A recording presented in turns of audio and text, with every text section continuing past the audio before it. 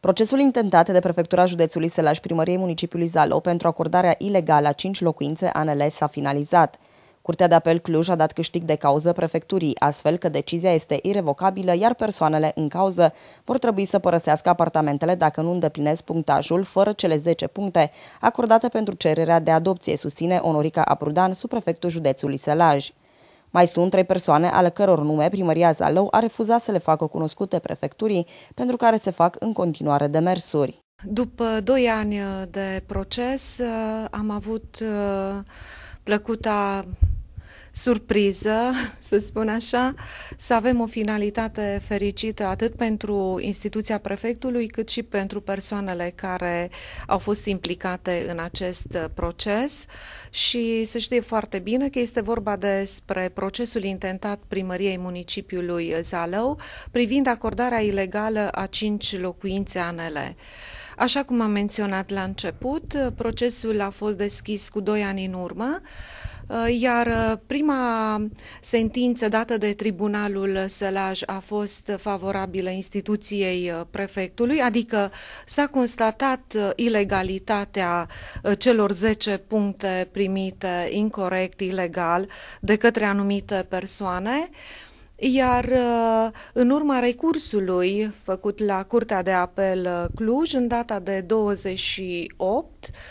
martie am avut uh, sentința finală irrevocabilă și definitivă, care spune următorul uh, lucru. Deci, Curtea de Apel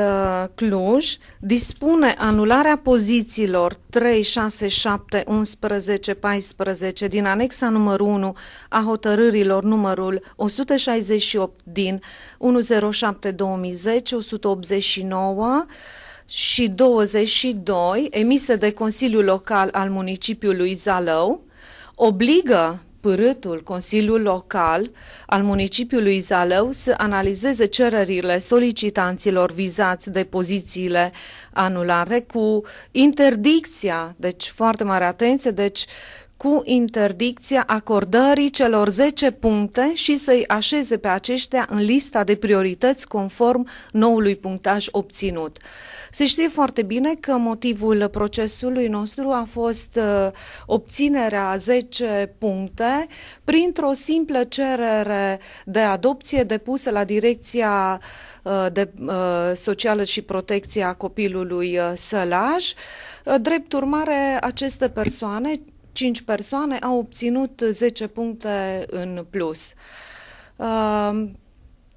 aș dori să transmit uh, un mesaj foarte important oamenilor și anume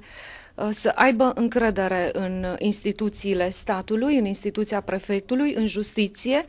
Uitați că s-a făcut dreptate chiar dacă foarte multe voci contestă acest lucru și au contestat de la, de la început uh, uh, demersurile făcute de către noi. Și acum mi-e greu să înțeleg de ce, s-a mai, de ce Consiliul Local a mai făcut și recurs uh,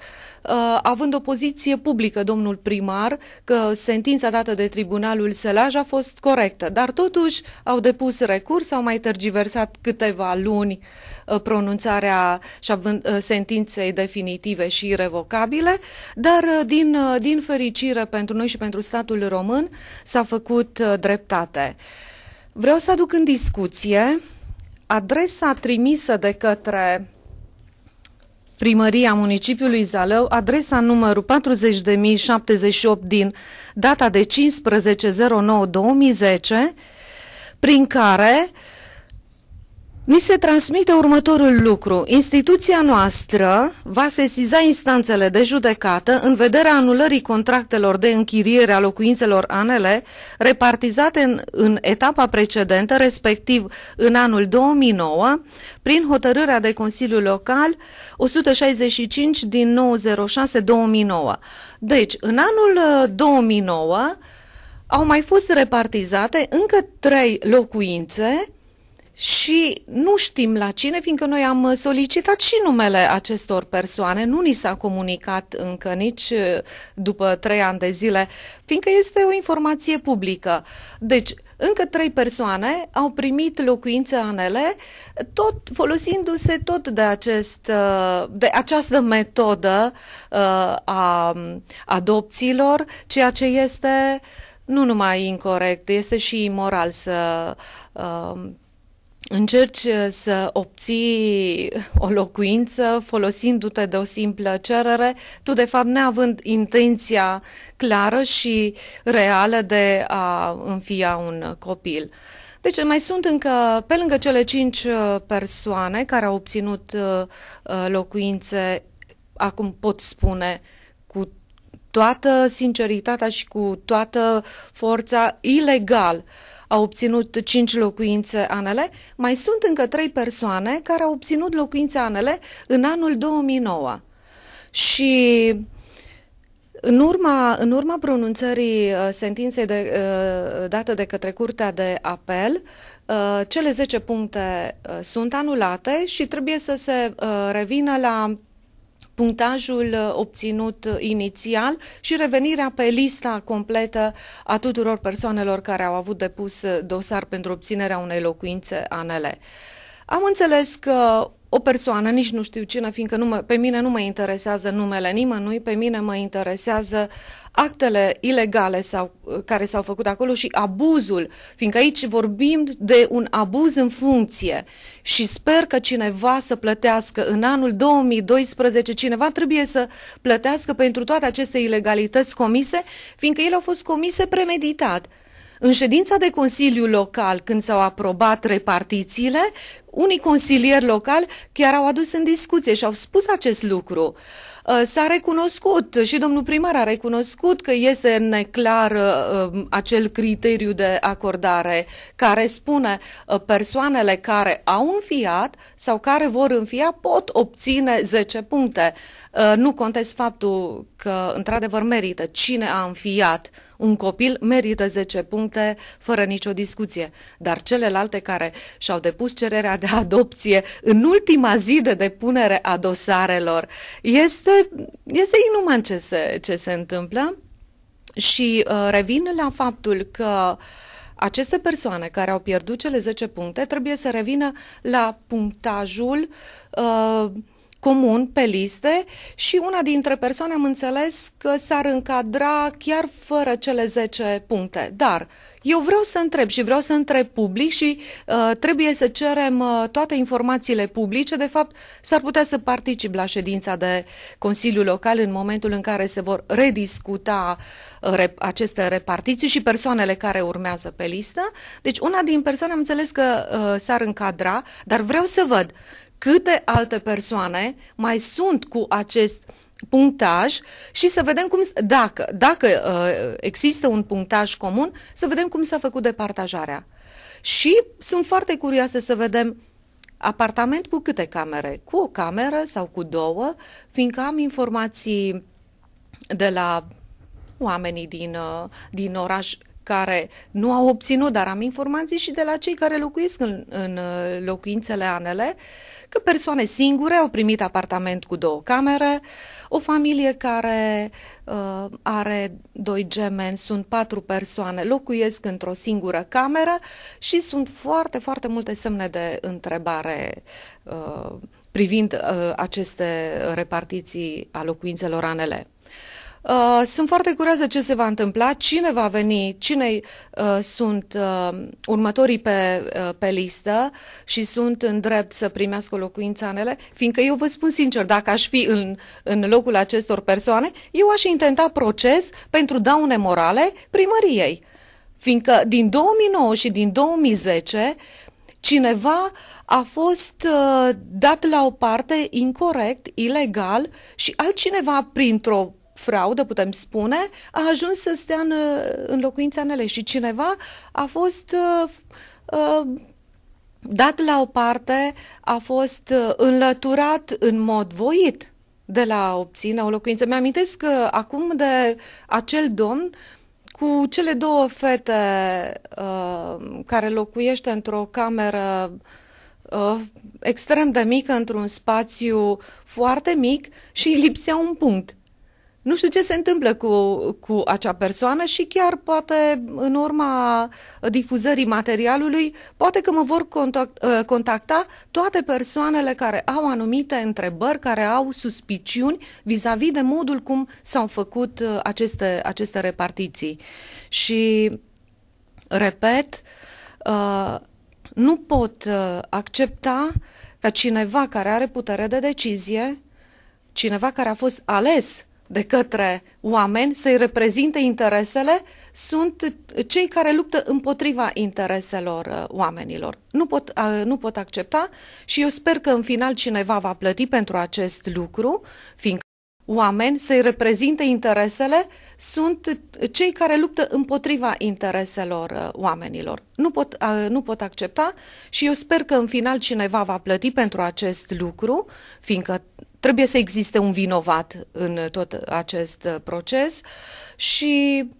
uh, sincer, uh, am o mulțumire în primul rând profesională, fiindcă am dovedit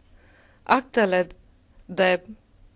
nu cred că exagerez dacă spun corupție, dar ilegalitățile, abuzurile care se fac într-o instituție publică a statului român, dar am și o satisfacție uh, personală ca om că am încercat să fac dreptate, am încercat să ajung, ajut oameni care merită și sunt îndreptățiți să intre în posesia unei locuințe anele,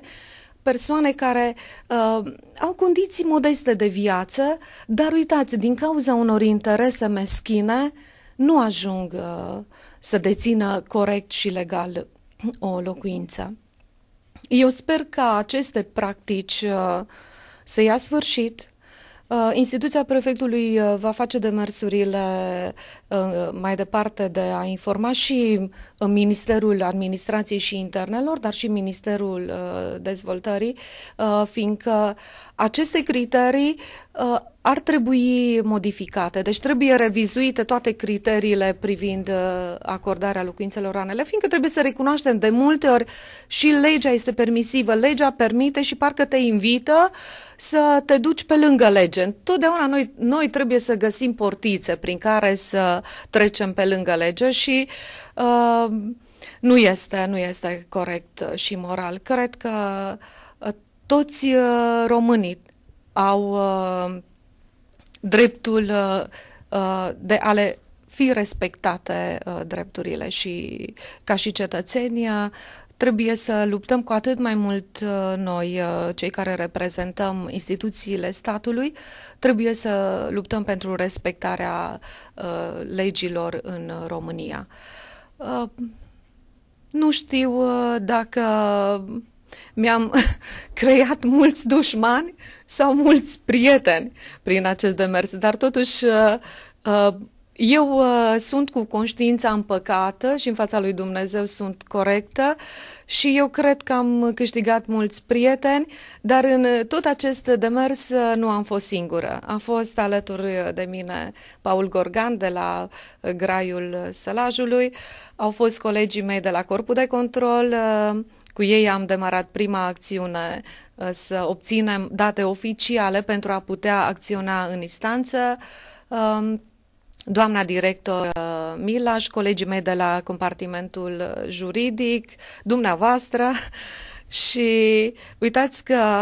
împreună, dacă suntem uniți și vrem să aflăm adevărul, acesta se poate afla și nimic nu este mai presus decât adevăr. Am mai menționat de câteva ori uh, în acest interviu că trebuie să avem încredere în instituțiile statului. Aștept acum ca instituțiile abilitate să se autosesizeze. Vreau să văd cine mai vine în acest demers lângă noi să afle adevărul. Poate că mai sunt încă multe adevăruri nespuse. Deci eu chiar am informații și Uh, probe, dov- am dovezi pentru alte repartiții tot uh, în acest an, în, în acel an, în 2010. Și acum aștept autoritățile abilitate, competente, să facă demersurile necesare pentru a afla tot adevărul. Fiindcă mai sunt încă multe de aflat în acest caz și niciodată nu se știe colateral ce alte surprize mai putem uh, avea în acest, uh, în acest sens.